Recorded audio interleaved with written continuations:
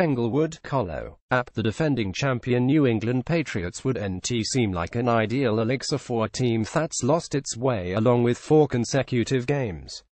The Patriots, though, have long been the Denver Broncos' best barometer.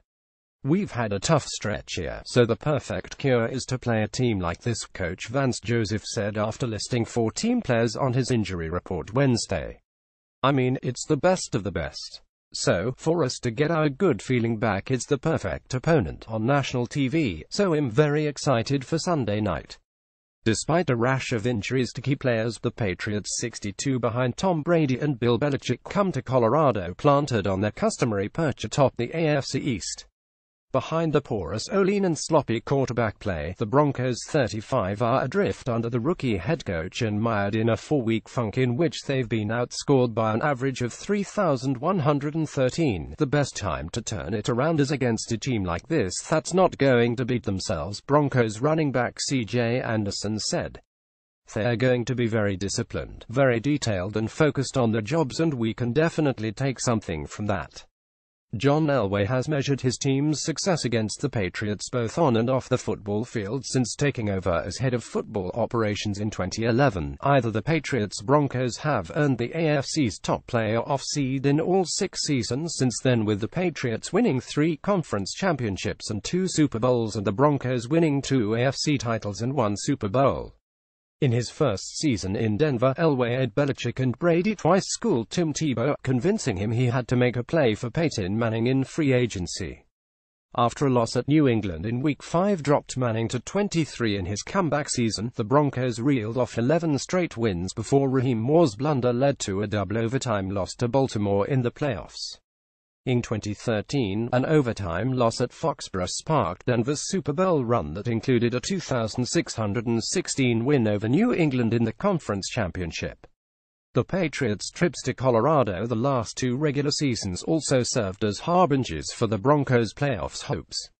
Brock Osweiler, who will be under center again Sunday night, replaced an injured Manning on November 29, 2015, and led Denver's comeback in a snowy 3,024 overtime win.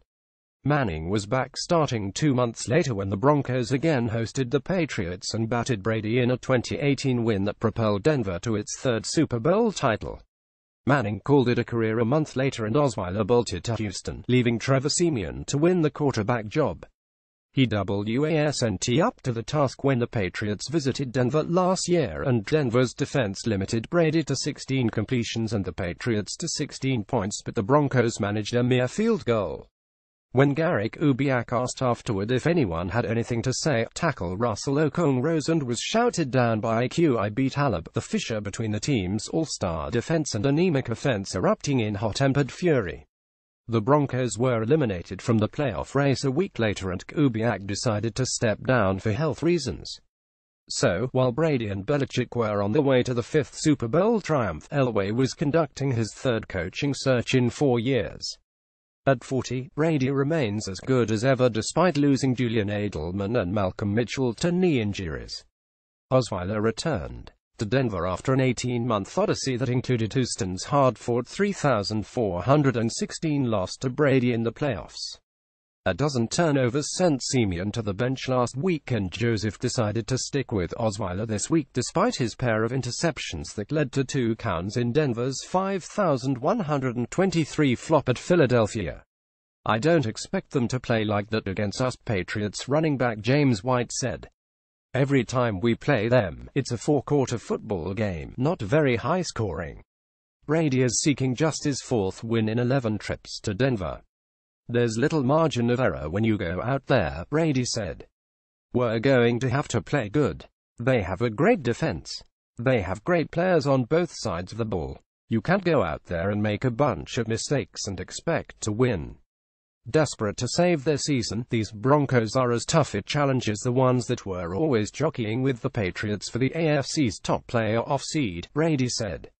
You learn a lot from losses, Brady said, and everyone wants to get a bad taste out of the mouth, underscore underscore underscore for more NFL coverage http www.pro32.app.org and http www.twitter.com app underscore NFL underscore underscore underscore. Follow Arnie Melendrez Stapleton on Twitter http twitter.com Arnie Stapleton copyright 2017 The Associated Press all rights reserved. This material may not be published, broadcast, rewritten or redistributed.